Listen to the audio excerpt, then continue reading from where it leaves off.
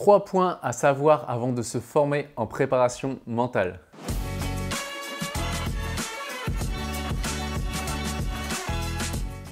Bonjour, ici Pierre, fondateur de l'Académie de la haute performance. On accompagne des sportifs et entrepreneurs à gagner confiance, gagner sérénité, se libérer de la peur d'échouer et battre le record personnel. Et je suis aussi l'auteur de plusieurs livres que vous pouvez retrouver dans la description et également, vous pouvez prendre un rendez-vous offert avec un membre de mon équipe. Donc peut-être qu'aujourd'hui, vous cherchez à vous former en préparation mentale, soit pour en faire votre métier et accompagner des sportifs derrière, soit parce que vous êtes sportif et vous avez envie d'apprendre ces méthodes de préparation mentale pour vous tout d'abord et ensuite pourquoi pas dans un avenir accompagner des gens à plus long terme. Donc aujourd'hui, en tant que fondateur et dirigeant de l'Académie de haute performance, à l'heure où je fais cette vidéo, je vais vous donner trois points essentiels que je crois profondément avant de se former en préparation mentale. Le tout premier point, aujourd'hui on peut voir des, formations qui font des promesses de euh, devenir préparateur mental en un minimum de temps, uniquement avec des PDF. Ça, à mon sens, c'est vraiment OK dans le sens où ça va vous donner une première éducation. Pourquoi? Parce que ces formations vont vous amener déjà une première, un, premier pied dans l'étrier et vous, vous montrer des choses que vous n'aviez pas vues jusqu'ici, notamment des outils de motivation, de visualisation, des ancrages, qui sont des outils qui permettent déjà d'avoir des avancées. En revanche, ce qu'on peut constater, c'est que bah, ces personnes qui font ces formations-là, souvent viennent après à l'Académie de haute performance pour apprendre des choses beaucoup plus avancées et qui ont des réels résultats rapides et durables sur les compétiteurs qu'ils Ensuite, le deuxième point. Le deuxième point, c'est vérifier que les gens qui vous forment ont une réelle expertise de terrain. Pourquoi? Parce que Aujourd'hui, ce qu'on peut voir, c'est que sur différentes formations, eh bien, on a des gens qui sont, euh, qui sont brillants en termes intellectuels, mais qui derrière, il n'y a pas une réelle expertise de terrain. Il n'y a pas un passé de sportif, déjà, d'une part, et du coup, il n'y a pas la compréhension des problématiques qu'un sportif a pu rencontrer et comment est-ce qu'on peut le libérer rapidement. Par exemple, à l'Académie de l'Haute Performance, nous avons tous eu un passé de sportif de haut niveau. Quand je vois notre responsable pédagogique, Isa Tripart, a, a fait une Coupe du Monde ou deux euh, en ski alpin, Coupe d'Europe également, et derrière, elle s'est formée sur un diplôme universitaire avant de rejoindre l'Académie de la haute performance et se former en dépolarisation et aujourd'hui est responsable pédagogique de nos programmes. Donc on, a eu cette, expérience, moi-même 5 bah, finales de championnat de France à mon actif, une seule victoire, non pas grâce mais à cause de mon mental. Malgré toutes les formations que j'avais fait en hypnose, en sophrologie, en méditation, je suis même parti 20 jours chez des moines en Thaïlande, eh bien le blocage de fond était tout le temps présent. Et aujourd'hui, bah, l'expertise de terrain, au-delà d'avoir été sportif de haut niveau, d'avoir dépassé mon blocage, d'avoir fondé la dépolarisation avec l'Académie de haute performance, c'est plus de 500 sportifs à cette date qui ont été accompagnés à l'Académie de haute performance, 4 médailles olympiques, une dizaine de champions du monde et une vingtaine de membres de l'équipe de France. Et peut-être même qu'à l'heure où vous visualisez cette vidéo, mon troisième livre est sorti, vous pouvez regarder dans la description.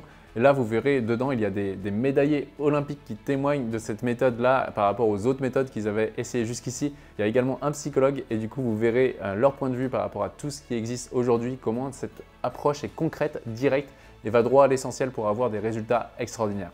Et enfin, du coup, le troisième point à voir, eh bien, c'est simplement quand vous faites une méthode une école de préparation mentale. Aujourd'hui, à l'Académie de haute performance, nous avons dépassé le dogme actuel qui était, le dogme actuel disait qu'on ne fait pas de promesses à un sportif.